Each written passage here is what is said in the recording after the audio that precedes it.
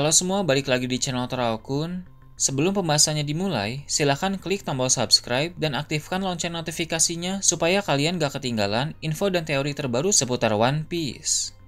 Buat kalian yang mau informasi tambahan soal SBS atau databook, kalian bisa follow Instagram Toraoku. Di sana admin akan memposting soal SBS, databook, dan berbagai teori singkat. Sekarang lanjut ke pembahasan. Full One Piece Chapter 1127 telah muncul di berbagai forum. Dalam video kali ini, channel Terakun akan menjelaskan berbagai hal menarik pada chapter kali ini. Cerita dimulai dengan memperlihatkan suatu desa yang ada di Elbaf. Di desa tersebut, kita akan melihat banyak rumah dan bangunan yang terbuat dari balok-balok seperti mainan Lego. Para raksasa yang ada di sana sedang berbicara tentang suatu kebakaran yang terjadi di hutan itu secara tiba-tiba. Mereka harus pergi untuk memadamkan api agar api itu tidak merusak pohon Yggdrasil. Pohon Yggdrasil yang dimaksud kemungkinan besar adalah pohon dengan ukuran masif yang ada di negeri para raksasa itu. Dalam kilas balik Bimam ketika dia ditinggalkan oleh kedua orang tuanya di Elbaf, kita sempat melihat sedikit sedikit pohon besar itu walau hanya bagian batangnya saja. Sekarang terungkap bahwa para raksasa ternyata menyebut pohon tersebut sebagai Yggdrasil dan sudah pasti itu bukan pohon sembarangan. Yggdrasil diambil dari nama pohon besar dan sakral dalam mitologi Nordik. Seperti yang kita tahu, Elbaf memang mengambil referensi dari mitologi tersebut. Dalam mitologi Nordik, pohon Yggdrasil menopang kehidupan dan di sana pun terdapat sembilan dunia, mulai dari Asgard sebagai bagian tertinggi yang dikenal sebagai tempat para dewa, hingga Helheim dunia bawah, tanah tempat paling suram di mana sebagian jiwa pergi. Belum diketahui apakah pohon Yggdrasil di Elbaf juga akan sekompleks kisah mitologi ini, tapi yang pasti lebih menarik jika dibuat sedetail itu. Berhubung Yggdrasil dari mitologi Nordik adalah tempat tinggal para dewa, maka yang tinggal di pohon Yggdrasil Elbaf juga pasti orang-orang penting. Entah itu adalah keluarga bangsawan Elbaf atau para petarung Elbaf yang sangat kuat, yang dianggap dewa oleh para warga di sana.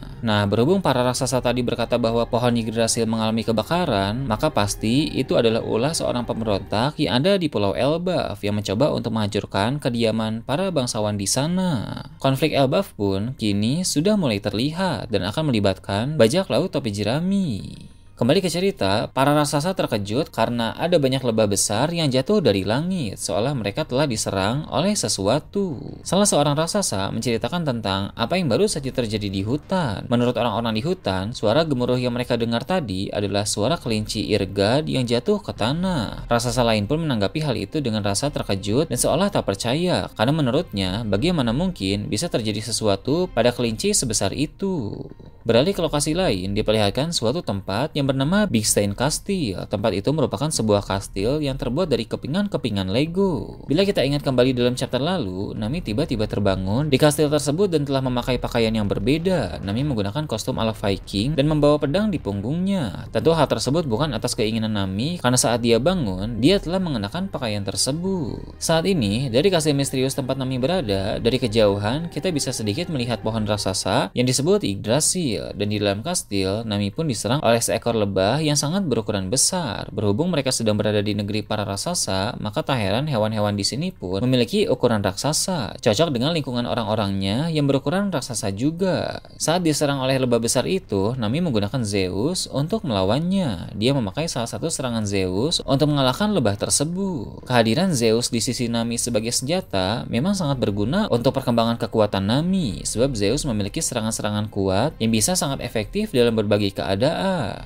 Zeus bertanya kepada Nami di mana mereka saat ini dan Nami pun menangis sambil menjawab, "Aku tidak tahu." Hal terakhir yang diingat oleh Nami adalah dia berada di kapal raksasa lalu tiba-tiba sudah terbangun di tempat itu.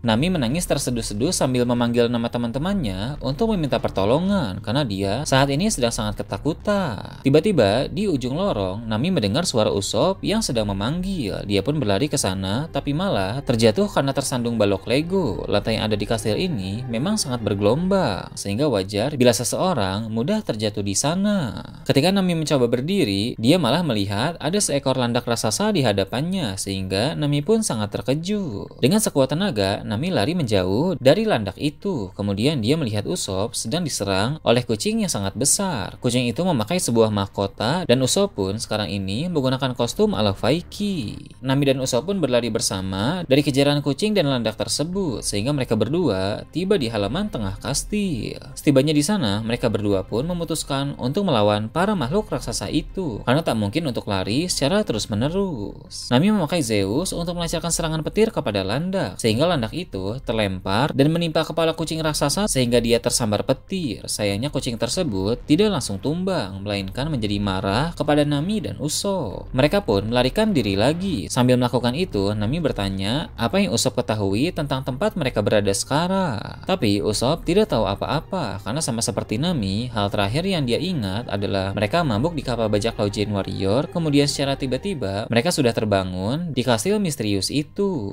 Nami pun ingat dengan minuman beralkohol yang mereka konsumsi kemarin. Minuman itu bernama Green Fairy dan para raksasa sampai berkata bahwa mereka bisa berhalusinasi bila mengonsumsinya terlalu banyak. Nami dan Usopp pun mencapai bagian balkon. Mereka akhirnya memutuskan untuk menghadapi kucing raksasa itu karena mereka mengira bahwa mereka hanya sedang berhalusinasi akibat efek dari minuman Green Fairy. Namun, ternyata kucing raksasa itu nyata. Apa yang sedang dialami oleh Nami dan Usopp bukan halusinasi. Kucing itu melancarkan serangan yang membuat Usopp langsung terlempar. Nami dan kucing raksasa itu pun jatuh bersama dari atas balkon sehingga mereka tiba di bagian halaman belakang kastil. Usopp pun berada di sana karena tadi dihempaskan oleh kucing itu. Tiba-tiba kucing itu pun berubah menjadi seekor singa raksasa. Dalam wujud singa, dia mencoba untuk melancarkan serangan lagi. Nami dan Usopp pun berada dalam bahaya besar. Dalam kondisi yang seolah tak ada lagi harapan itu, Nami mencoba untuk menggunakan tubuh Usopp sebagai tame. Untung saja ada tiga orang yang datang pada saat yang tepat. Mereka adalah trio monster bajak laut topi jerami, yaitu Luffy, Zoro, dan Sanji. Sanji marah kepada kucing besar yang telah berubah menjadi singa raksasa itu. Menurut Sanji, membuat Nami menangis adalah suatu kejahatan yang membuat hewan itu pantas untuk mati. Sang koki dalam bajak laut api jerami itu pun mengaktifkan Ifrit Jambe lalu menggunakan teknik bernama Epaule Strike. Pada saat yang sama, Luffy memasuki mode Gear 4 lalu memakai serangan Gomu Gomu no Elephant Whip. Tak ketinggalan, Zoro juga menggunakan teknik Santoryu yang bernama Kokujo do Tatsumaki. Dengan begitu, maka serangan dari trio monster itu mengenai singa raksasa di hadapan mereka dengan telak, sehingga singa itu pun langsung tumbang berkembang dan berubah secara otomatis kembali ke wujud kucingnya. Serangan gabungan dari trio monster ini terlihat mirip dengan kejadian dalam chapter 162 di mana mereka bertiga melancarkan serangan kepada Kada Sandora. Saat ini Luffy, Zoro, dan Sanji pun memakai kostum ala Vaiki. Di sana, Zoro bingung ketika melihat singa raksasa yang telah mereka kalahkan berubah menjadi kucing. Sementara itu, Sanji berkata bahwa dia sangat khawatir kepada Nami. Nami pun mengaku sangat ketakutan, lalu dia bilang bahwa Usopp sudah tewas. Mendengar itu, membuat Usopp langsung merespon dengan berkata bahwa dia masih hidup. Usopp marah kepada Nami karena tadi menjadikan tubuhnya sebagai tameng. Pada bagian akhir chapter, ada halaman ganda epik yang memperlihatkan Luffy, Zoro, Sanji, Usopp, dan Nami sedang bersama-sama. Mereka sudah siap untuk menjalani petualangan baru di tempat misterius itu.